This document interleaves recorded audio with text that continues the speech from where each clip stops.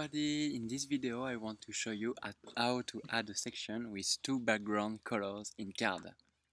So just add a new columns here, container, with two columns, here, 50% each, and you just have to add in background a gradient we, we you choose for the first color a, a color in 50% and a second color in 50% with 80 degrees angle.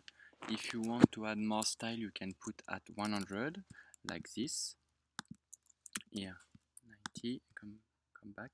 And you can take all the full screen, like this, and put to 35%. And like this, you have this style of two columns. If you want to it works on mobile you can add just a little bit of code and you don't need to know how to code to do this because you go on cssgradient.io and you generate uh, the gradient you want. So here is I select a green and a blue. You ju just have to add from 0 to 50 your first color and your from 50 to 100 your second color then here is your you have your code. You just copy and paste.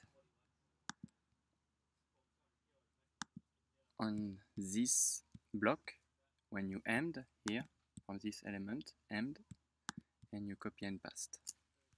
Here I just say uh, only for screen under 600 pixel. And that's it. You can just push online